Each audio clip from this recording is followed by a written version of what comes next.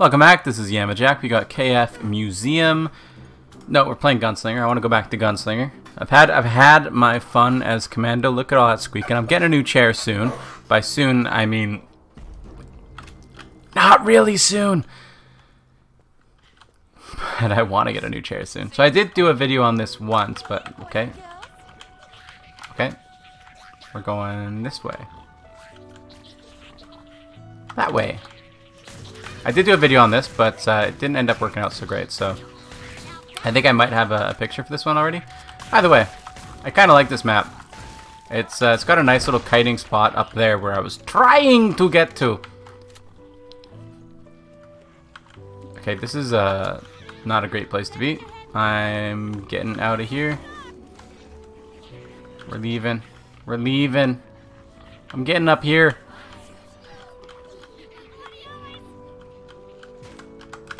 Oh, that was a whiff. Get some payback there. Yeah, so we got this little spot right here, which is kind of like a one-lane defense kind of thing, you know? It's uh, pretty nice little spot. then when you when you need to ditch, you can kind of just ditch right there. You got the same thing on the other side if you prefer being on that side. But uh, for some reason, it seems like they kind of like bug out there, so it's like even easier than a one-lane defense because uh, you got this little nadeable location, you know.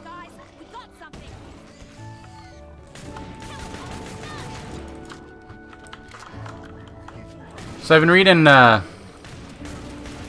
I read a lot of like manga and. Uh, okay, jeez, guys, like, it, you're making it harder for me by making it easier for me. I read a lot of uh, manga and uh, like Japanese light novels that the manga were like based on, and it's it's always very uh, it's it's a guilty pleasure of mine. I think I think I might have talked about it before, but it's uh, it's not something that I would recommend. Um, they're not good. They're just fun, you know? I, I enjoy reading them, but I, I wouldn't call them good literature, you know? Like, it's, it's not... If I have to choose a, a book to read or something, I'm not...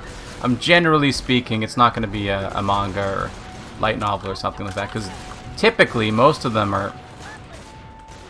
What's really prevalent is just an incredible amount of sexism. Just uh, like an incredible amount of sexism is uh, is very prevalent in uh, in these because it'll be like, and it's just stuff that's so subtle too. Not subtle, but um, that's so seemingly harmless. Because you'll you'll be reading. I was reading uh, this one right now, and uh, it was it was about uh, these people who are like stuck in a death game and you know, kind of like a Sword Art Online kind of thing. And um, it was talking about how the the game had uh, there were no penalties to being dirty, but uh, you were still able to clean yourself if you wanted. And it was like, yeah, mostly only the girls did it though. I'm like, what? what? Do guys just not care about being like what? And it's just uh it's just like casual stuff like that.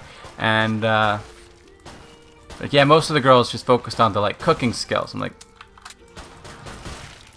Huh? Like they, they, they were playing the game, like their motivations are, are clearly to play the game, like they're going to have fun playing the game and doing what, what, what it is, right? Like like the, the the the game started out as perhaps you you, know you got you got your your your your societal um, like gender roles and whatnot that um, might once it's turned into a death game might lead towards the men taking on the more dangerous jobs because that's just kind of the the roles that people fit into and it not necessarily what we should be doing but it, it kind of is what happens. So once it turns into a death game then sure you could you could justify that kind of a thing by saying, oh well, it's a death game. Men typically take on the more dangerous jobs, blah blah blah blah blah. And I'm like, well, yeah, but you don't have to put that in your story. And also, it didn't start out as a death game. So like, they'll they'll be talking about how it was. Um, can I stand on this thing? Nope. Nope. Definitely cannot. Uh, didn't start as a death game, so we're talking about it when it's not a death game, and you could still log out. And they're like, yeah, well, most girls only cared about the, the cooking and the cleaning and stuff. And I'm like, well, surely, surely, come on, come on. Um, so it's just, uh, it's just really, really annoying to, to be reading about that. But then I'm still like, yeah, but do you see how you know, much havoc he's wreaking. It's pretty cool. It's pretty cool, and I read it anyway, but it's just... Hello? Oh, hi. How's it going? still just, like, annoying to to read about it. And I'm, I'm, I'm like... The guys just don't care about, like, not, ba not bathing. It's a girl thing to bathe. Pardon me. And they also tend to be, like unbelievably like nationalistic in uh, in these like uh, other worlds stories,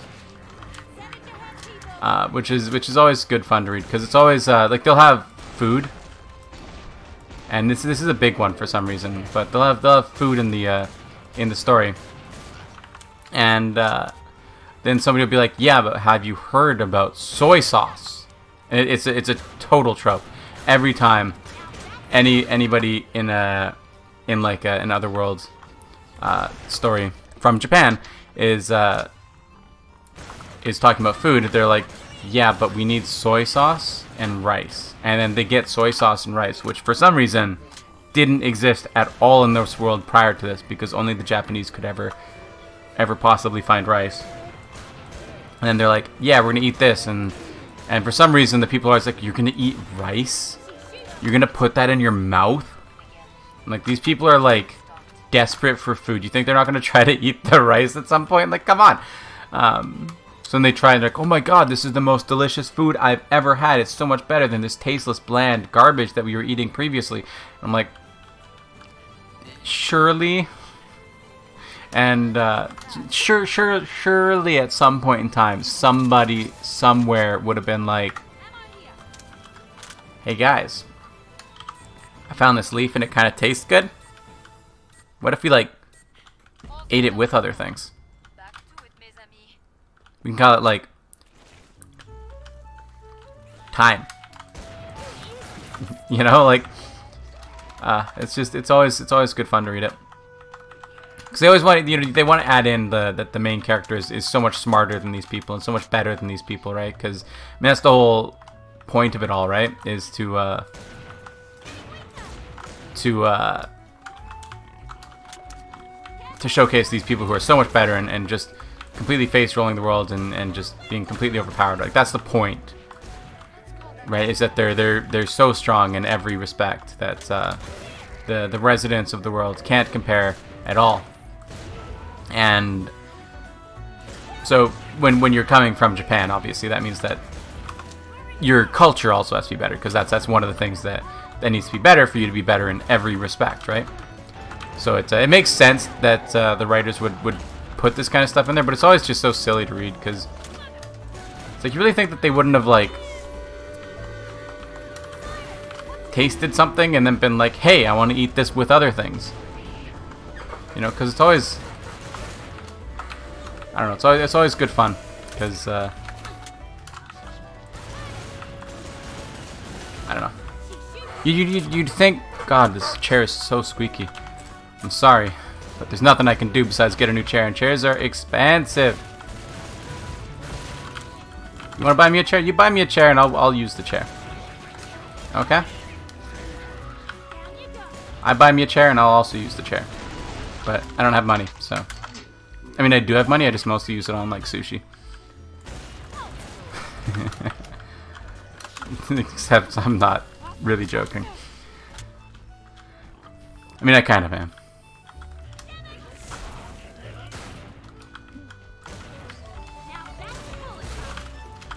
I'm about to had sushi last night. I've, I've had sushi a lot lately, actually.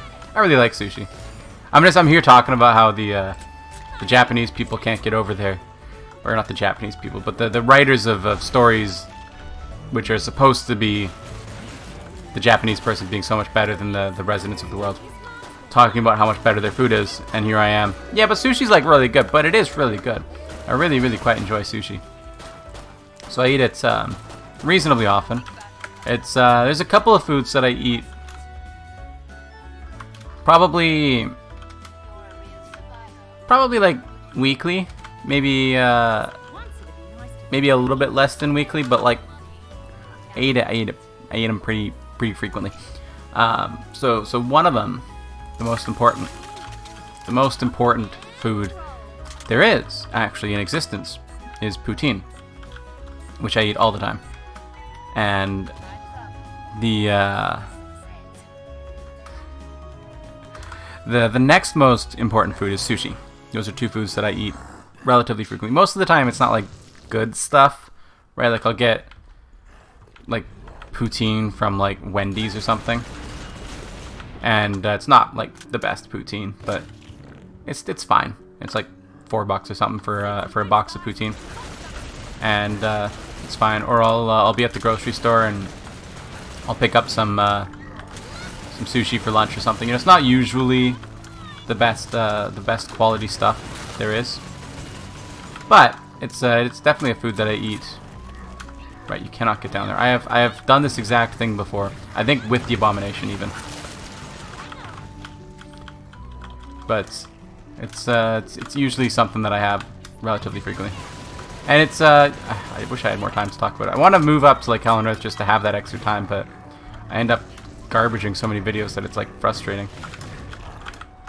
And this is why I need another series to, to talk about things. Because I just, I have so many, so many things I want to ramble about, and most of it's not important. But anyway, I have poutine a lot, and most people who don't live in Canada don't really have poutine as much as I do because they don't live in Canada, and poutine's kind of a Canadian thing. And, um, yeah, I can't imagine going to McDonald's and being like, oh yeah, well, I won't have the poutine because there is no poutine here. I'd, I'd go to McDonald's and be like, yeah, I don't really feel like poutine right now. You know?